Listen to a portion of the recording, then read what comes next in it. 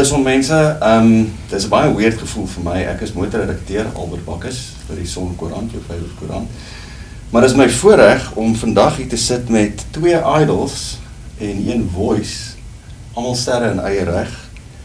En hulle doen the love thing. It's a love thing. Um, besides even the project, my project here is Robin.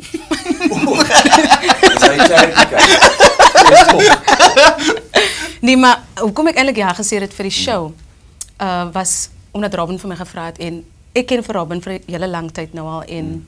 ik hmm. um, weet hoe hard het hij gewerkt. Ja. Hij heeft mij soms keren lang voice notes gestuurd. Hmm. Moet ik dat doen? Wat moet ik nou doen? What do you think? dat goed. So, um, ik weet waar het is gegaan en ik weet hoe hard hij gewerkt heeft en ik weet, hij heeft met allemaal onder de zon gewerkt. Hmm, maar het was nou Robin's tijd. And I'm more than happy to support him with whatever ventures he tackles this year or whenever. So dis hoekom ek ja gesê het vir hierdie projek en dan ook met die skoolskoon ek um onthou tyd toe ek ook 'n kind was. Um daar was een incident. Nou luckily vir my ons is klomp kinders. Mm -hmm. En ek weet nie die Here het dit seker uitgestel dat ons almal dieselfde size dra. Dat daar daar seker 6 van ons. Ons is 10, ons is 10 kinders. Jou arme ma. nee, maar sy ons almal was nou nie saam op die skool nie. Because obviously ek was 3 toe die ander al wat ouer as my is, want ek is sewende in die lyn. So al hulle skoene het na my toe gekom. So each one of us had a pair of shoes. Dit was nou al afgeloop al maar that's what it was, is, is skoene. Maar daar was een incident waar daar net 'n paar skoene vir my was. It's no a joke, maar ek dan dink maar daai dag was dit vir my 'n joke nie. Veral al vir 'n kind se dignity. Exactly. En ek dink at school is where you learn to get to know your personality. En wanneer terrible goed met jou gebeur op die skool dan begin jy daai in mens word because obviously that time kinders maak jokes. Ja, because ja. ja, ek moes 'n uh, paar skoene gedra het en dit was 'n paar tekkies. Clown tekkies. Lag ek. Paar- Clown tekkies, maar my parents het gevoel vandag gaan jy skool toe Ja. Ja. because jy moet skool toe gaan.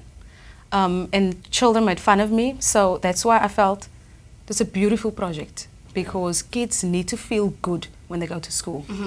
Nie met 'n paar groot skoene nie of clown tikkies nie, so they need to feel good. So please, I encourage anybody or everybody who's coming to the show to support this need.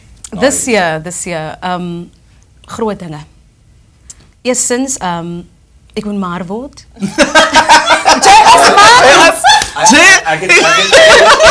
ek, niks erken nie, maar ek voorsien. Jy is al niksie already. Okay. Maar ons gaan ons weer, ons gaan gesag. weer nie, ons gaan weer daaroor praat. But um in all seriousness, ek gaan my eie shows hierdie jaar hê because daar is een ding wat ek nog nooit gedoen het. Ek weet nie hoekom nie. For some reason I never had my own show. So dit is definitief nie okay, is nie pipeline nie, is is uit. It's it's going to happen.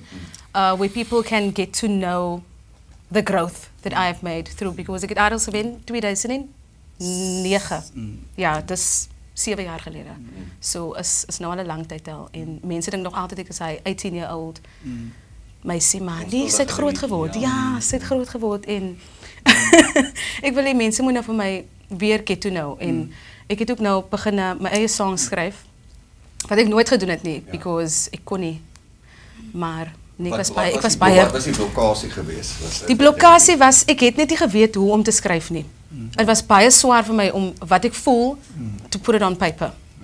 So um, and I don't play any instruments as well, so it's difficult to take your idea and go to a musician. Listen, this is what I want. And jy kan nie vir hulle sê ek soek 'n G sharp daar, A flat D. You can't because you don't know that. So, um, but it's it's going to be beautiful this year, and I will work very hard. And with these friends and support around me, it's it's going to be great. I was een en dis ook nou jare gelede, but that was one moment that I won't forget. Um, ek weet nie of jy Wayne Brady het Suid-Afrika toe gekom en hy was toe ons Idols gewen het en toe kom hy Suid-Afrika toe and we were the opening act for him. Okay. So, um, en daai aand, en ek het 'n stupid song gesing daai aand op sy show. Dus soos in, according to me, ik had niks ingesit. Ik was het like, okay, let me just do this. Want ik is op mijn nerves. en mm. I need to see my family. Van ik heb die van een lang tijd gezien dat tijd. Yeah. So, he came to me afterwards and say, wil je niet samen Amerika toe komen alsjeblieft? Kom niet. Als je wil werken, kom niet. Voor twee weken, ik en mijn zuster hier op. Yes. Free of charge, alles. En toen ik daar kom, toen meet ik voor All For One, so, um, Jamie Jones. En toe luister my single wat ek gedoen het vir Idols, toe sê okay, I have the perfect song for you. So record free of charge en dit was net moments agter mekaar wat gebeur het wat ek gedink het, how is this possible that this is all happening to me right now? Ek was so nervous daai dag. hy het vir my groot McDonald's koelding gekoop. Toe in die studio, soos ek daar staan toe sê I'll be back now. Daar gooi ek die hele ding. Uh that's a face plant. And at that time, I didn't know what his personality was. Gaan die man hier inkom en sê, "What the hell is going on here? What have you done?" Want toe kom hy in, toe kry hy vir my op die vloer met my tissues op die, maar hy was so nice oor en so gentle to say net, "Get up now, it's fine. Just get into studio, I'll do this." And so that was that was a very very good moment for me. And then I decided, okay, Sasha, you are meant to be in this industry and to do what you love and love what you do. En dit maak nie saak what happens because you get people that tell you nee, wat sou sê, so sê moenie hier wees Ja. nie. Um, so kom kyk na die mense, kom ondersteun die son, kom ondersteun hierdie wonderlike mense. By the way, Karen Kortje is ook op die lys. Ehm um, julle gaan 'n movie se show sien. Uh met 'n strong line-up. Ehm um, ek gaan self daar wees en uh, kom ondersteun ons. En hierdie is nou Albert Bakkes, motorredakteur. Hoor en my. Thanks.